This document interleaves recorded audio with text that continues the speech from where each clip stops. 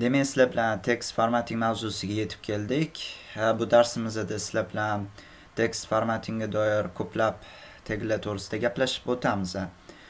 Birinchi bo'lib, boshlashdan oldin bir narsani aytib o'tmoqchiman.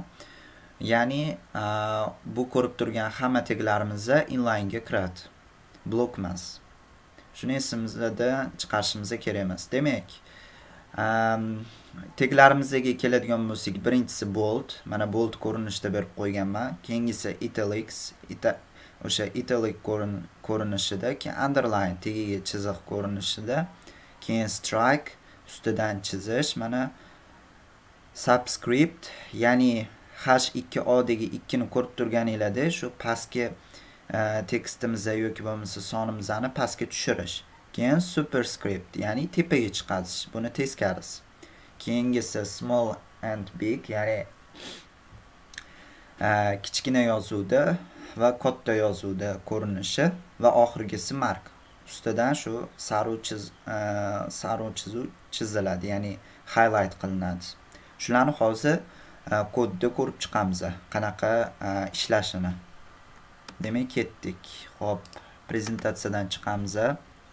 Visual studioga kiramiz demak hop, bu yerdagi hammasini o'chiramiz tekstlarimizni hozircha bular kerak emas bizga. Hop, demak, ketma-ketlikni ko'rib chiqamiz. Birinchi navbatda sizlar bilan Boltni gaplashgandik. Demak, bolt qanaqa bo'ladi? Hop. B deb yozamiz va enterni bossak, o'zi tayyor qilib beradi Visual Studio. Keyin buni ichiga bold deb yozamiz va saqlaymiz. Mana ko'rib turibsizlar, bold ko'rinishda e, keltiryapti. Ya'ni bold ko'rinishda qachon qo'llaymiz desanglar, hop, boldda asosan ma'lum bir shu biror bir saytimizda kerakli joylarini belgilash uchun yoki bo'lmasam ehm, bir xillada headingda ham qo'llashimiz mumkin. Ya'ni h birlarda h birlarni o'rniga shu boldda ham e, keltirishimiz mumkin. Keyingisi keyingisi demak italic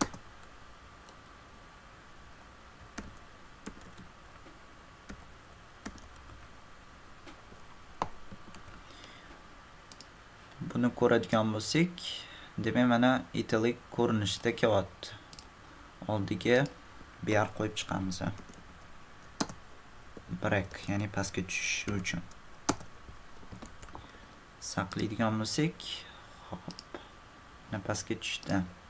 Demak qolganlarini ham ketma ketlikda ko'ramiz. Hop underlineni gaplashgandik ya'ni u deb yozib enter bossak mana tayyor chiqarib beryapti buni ham. Enter line hop. Pastga tushamiz break qolib ketibdi demak break.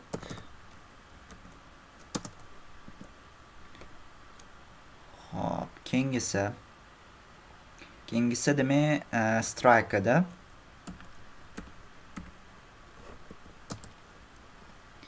strike. Hop buni ichiga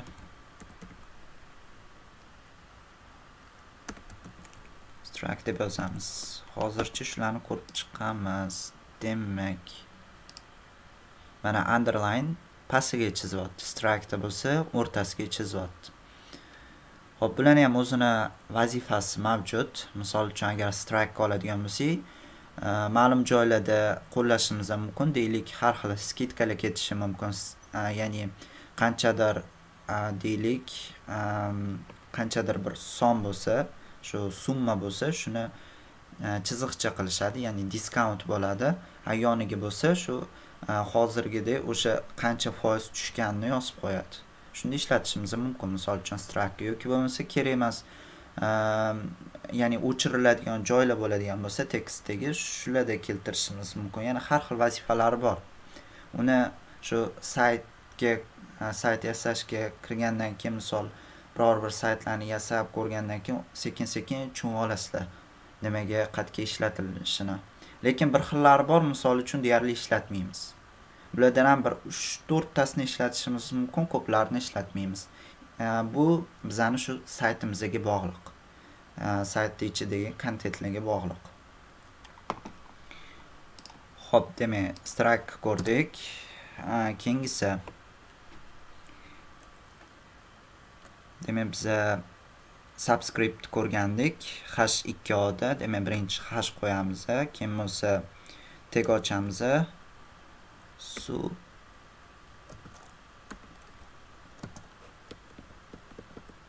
Buni yoniga keltirib demak bu yoqqa ikki qo'yamiz. Bu yoqqa bo'lsa o qo'yamiz.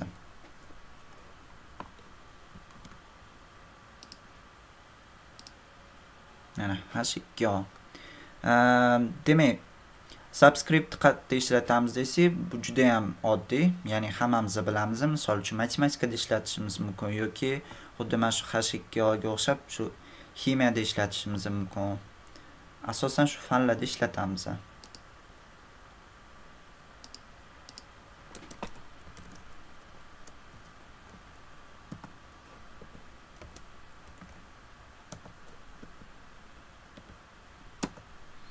keyingisi sub superscript.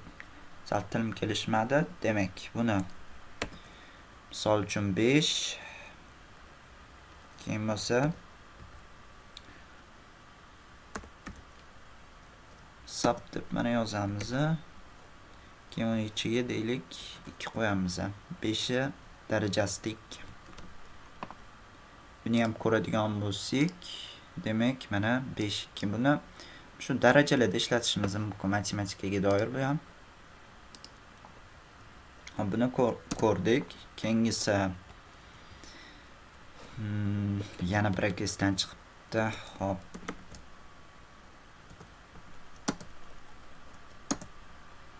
Davom etamiz keyingisi smolada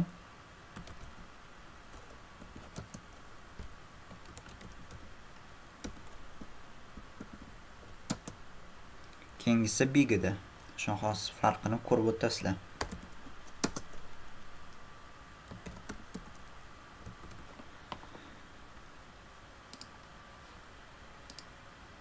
Mana demak smallda qanaqa ko'rinyapti bigda qanaqa ko'rinyapti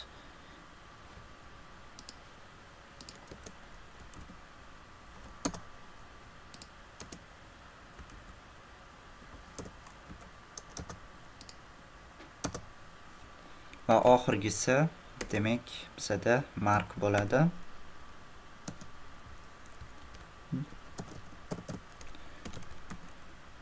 Mark.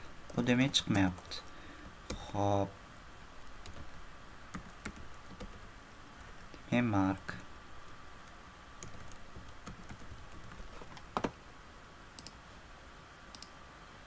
Mana. Demak bilan ko'rdik. Bundan tashqari yana sizlarga aytib o'tadiganim misol uchun biror bir e, tek yozadigan bo'lsak blok e, blok tek yozadigan bo'lsak misol uchun paragraf yozamiz hop bu tekstni bold ko'rinishi ko'rinishi deb yozib Xo'p, endi misol uchun mana shu yerda boltni bolt bolt yoniga shu bolt tegini berishimiz mumkin, ya'ni paragraf ichida. Ya'ni bersak bo'ladi bunaqa qilib ham. Mana hozir demak ko'ramiz. Ichida chiqmayapti, demak b. Keyin buni ichiga shu boltni kiritamiz.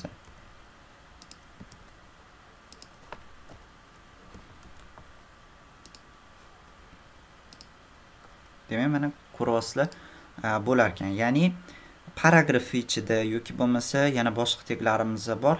E, misol heading teglari bor. H1 h2 farqi yo'q. Shularda ham e, yozishimiz mumkin. Ya'ni shu ma'lum bir teg ichidagi kontentni o'sha format qilish uchun ichida yana shu teglardan foydalansak bo'ladi. Xo'p, bu bir aytib o'tadigan narsam bo'lsa yana boshqasi e, bitta misol uchun tekstimizga bir nechta e, formatlar berishimiz mumkin. Buni qanaqa qilamiz? Misol uchun deylik e, birinchi bold birinchi mana bold yozamiz keyin uni ichiga deylik i deb yozadigan bo'lsak ho'p chiqmayapti i. mana i deb yozdik. Uni ichiga deylik u deb yozamiz u deb yozamiz hop endi buni ichiga o'rtasiga